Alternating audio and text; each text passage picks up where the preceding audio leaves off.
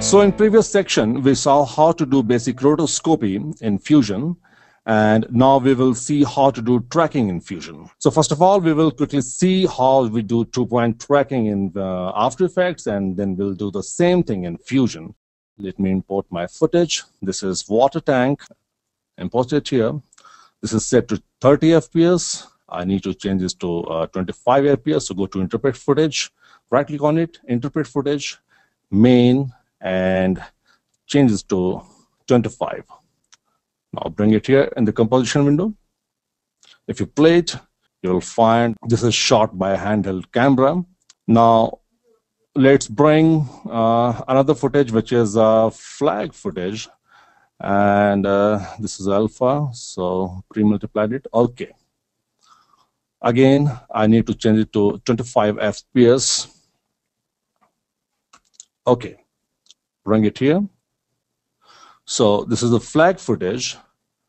I have made it in 3ds Max, and um, I have to place it here on the top of this water tank.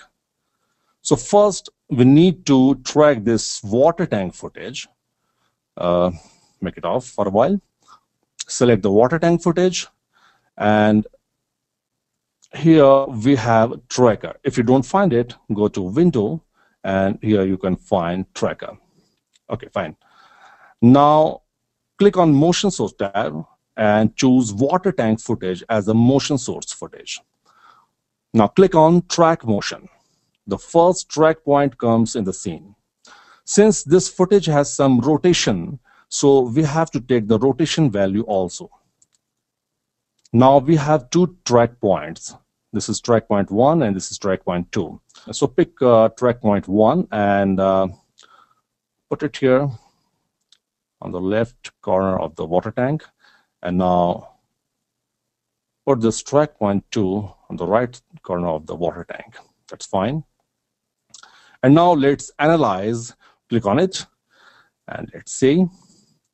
I think these are uh, going quite well.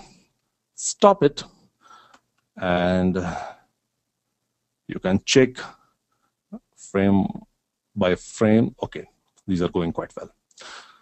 Now go to layer, new, and bring a null object here. Click on edit target and apply the motion to the null one. Okay, and click on apply. Apply dimension X and Y. Okay. Now you can clearly see that the null is going with the footage. Fine. Now let's enable the flag footage, pick its whip and connect it to the null one. In this way, we can make flag at the child of null one. Now pick the pan behind tool and this is the anchor point of the flag layer. You can see here.